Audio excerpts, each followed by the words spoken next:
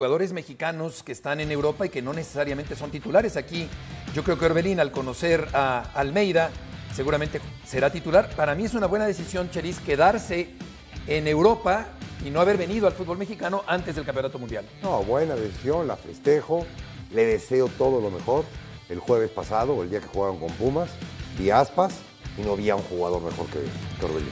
Sí. O sea que el señor Coudet ya se fue. No lo quiso, no lo quiso. ¿Ya siguen en México? ¿Ya se fueron? o qué? Pero igual siguen Bueno, o- Ok, el señor Coudet verdaderamente, No lo quiso, qué conflicto o qué problema de interés. No quiso, Sí. no quiso. No lo traje yo, no lo quiero. No, no, Sí, no, qué sí. cosa. Imagínate. Sí, ahora, eh, pudo haber venido al Guadalajara, por ejemplo, Mario, pero estar en Europa con un equipo que tiene su relevancia, que quizá no es de los más importantes, pero le garantiza seguramente a Almeida el poder jugar como titular. Quiero decir algo. eh, ojalá, ojalá, eh, añoro que la selección nacional de México haga un gran partido contra Argentina y le gane. Es decir, el parámetro de una Copa del Mundo es fundamental para este tipo de jugadores como Orbelín, que de un dedazo te dicen, no, pues, no me gustó, no lo traje, no lo meto. Eso es algo tremendo. Sí, sí, sí.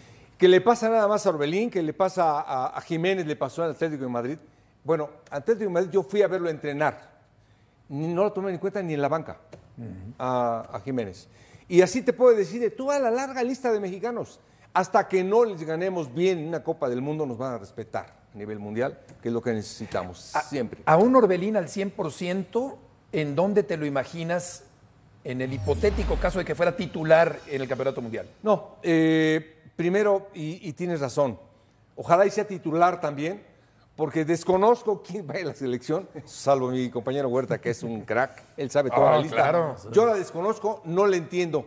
La elección no la entiendo. Hasta no ver la lista, ya me imaginaré si puede jugar. Yo todavía no lo veo seguro en la selección. Todavía. No lo siento, seguro. Pero Huerta. Yo creo que es de, lo- es de los que está todavía en duda, Beto, de si tiene más. lugar o no. Pero aquella Copa de Oro que hizo cuando se lesionó el Chucky Lozano en el choque con el portero Sí. de Jamaica, que una lesión gravísima, que pudo haber sido fatal. eh, ahí entró Orbelín y entró toda la Copa y fue México campeón. Y entonces, eh, no, no fue campeón, perdón, perdió la final. Pero toda la, digamos, toda la Copa de Oro la jugó bastante bien. Hizo los goles, la mayoría de los goles los hizo él. Eh, y ahorita que México no tiene gol, porque ni Chucky, ni Tecatito, ni, Raúl Jiménez, ni Martín. no tienen gol ahorita. Henry, Henry Ni Martínez Mori, que gol estuvo lesionado. Pero Eh, po- podría ser que Orbelín jugara ahí en el lugar de alguno de ellos, eh, si llega a estar en la Copa del Mundo, como dice Mario. Porque ahorita eh, tan no se sabe que está viendo el Tata Martino los partidos del News. Si le gustan esos colores, que venga a ver al Atlas. Son los mismos colores. O sea, ¿por qué está en ¿Los del Newell's Argentina viendo Boca partidos de la Juniors? Liga Argentina cuando acá está el campeonato y le faltan cuatro meses para el Mundial y acá están los jugadores que vas a elegir para completar tu equipo, claro. ¿no?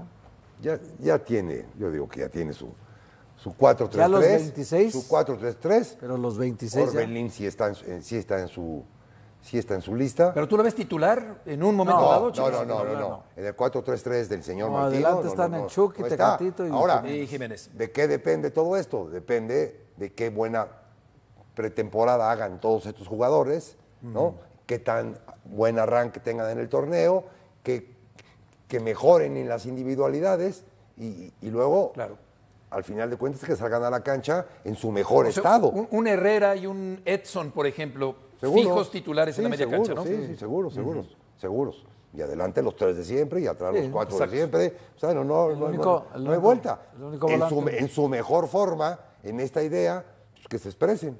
El único volante en duda es o es guardado por la experiencia y su quinto mundial, o es eh, Charlie Rodríguez, Charlie, se dependiendo recupera, de claro. cómo ande en el nivel. Claro. Pero ahí está la única duda. O, si, o si juega con el Guti, otro más. También puede ser. Pues sí, pero eso es toda la duda que tiene, ¿eh? pero para el titular. Ahora, para completar los 26, sí, va ahí es donde Claro. tiene que estar viendo la liga para ver a Luis Chávez, para ver, Claro. A ver, a ver, la a liga. ver, a ver si le da una oportunidad al Pocho Guzmán, ¿no? A ver, Pocho.